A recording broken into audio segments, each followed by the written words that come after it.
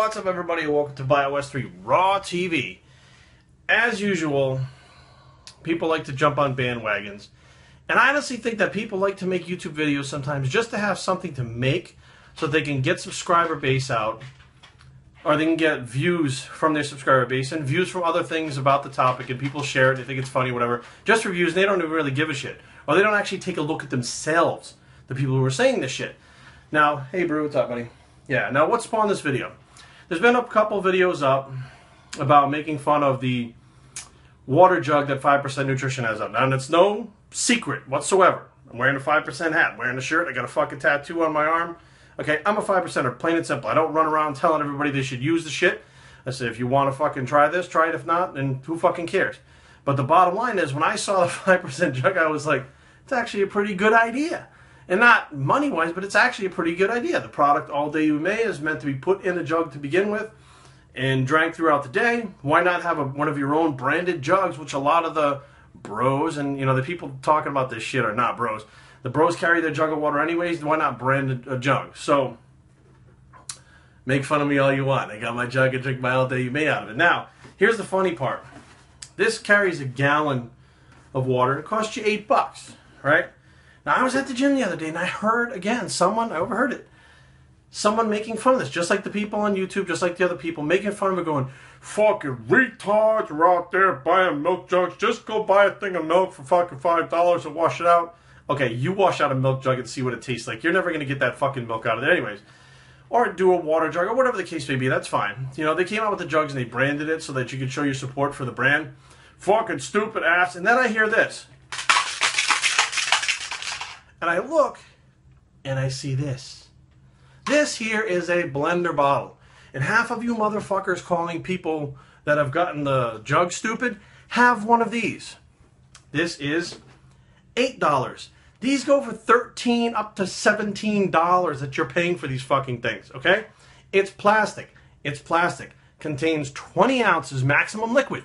So you're not going to be mixing up your whole fucking supplements in this contains a gallon of liquid so you can use the product the way it's meant to be made. Now, some of you motherfuckers, this piece of plastic is worth like a dollar fifty.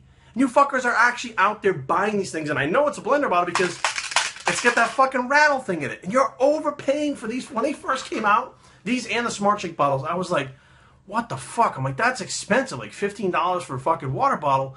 And then I realized that Smart Shake water bottle is very convenient with the pieces and the attachment that it has on has on it, and the blender bottle with the little fucking ball, which I usually use the balls to begin with, is very fucking good for mixing shit up. Each one had their own thing that you were paying for. You're paying for convenience, not the product. You dumb motherfuckers right now that are making fun of shit probably have one of these in your fucking house or something similar to it. So even if it's not a blender bottle, you have something you bought because you're drinking your fucking shakes, you're taking your fucking supplements out of a fucking shaker bottle. I mean, what are you supposed to do? Are you supposed to fucking buy paper cups? Well, then you're stupid because you waste all this money and you fucking hurt the you hurt the earth throwing shit out. Are you supposed to fucking put supplements in your hand and drink it out of your hand? What are you supposed to do? So, to me, I look at it and go, and this is my ultimate warrior one, by the way. I look at it and say, anybody who paid fucking $13, $15 for this is a dumb motherfucker. And I have one. Yeah, you're spending money on something that's fucking overpriced.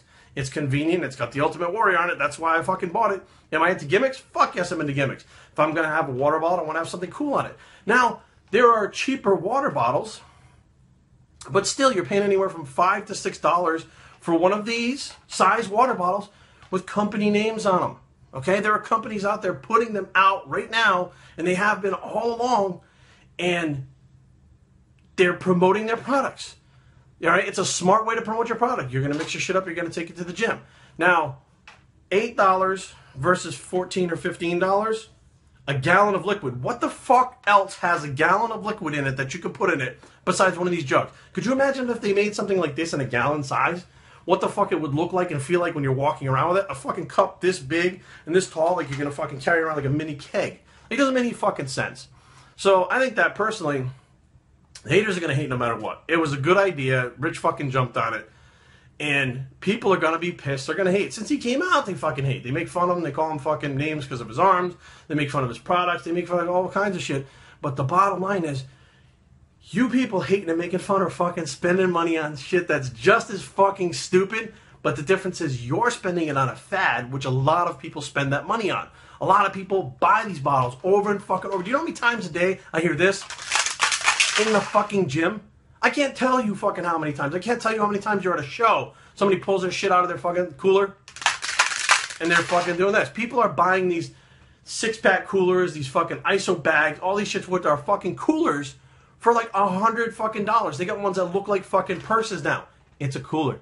You could go buy the styrofoam one at the fucking supermarket for fucking four ninety nine that you bring to fucking tailgate parties. You can lug that thing around. Why don't they just do that? Convenience, style, attitude. You're looking for all those things. So it's not just about what it does. It's about the functionality of it. It's about the the branding of it. It's about the style of it. It's about if it fits your lifestyle. I mean, I have these and I have this. They both fit my lifestyle, I'm happy with it. It doesn't fucking matter. The bottom line is, you should really take a look at yourself before you point the excuse me before you point the finger at someone else, because you're fucking just as bad by doing this fucking stupid shit and then calling this fucking stupid. It's actually pretty hypocritical. Biostraining at gmail.com. Leave comments down below. But don't fight, you motherfuckers, with your shaker bottles, because the fucking jug ain't no different. www.biostraining.com is a blog, and where it's the I got my 5% jug, and you don't bitch, and we're out.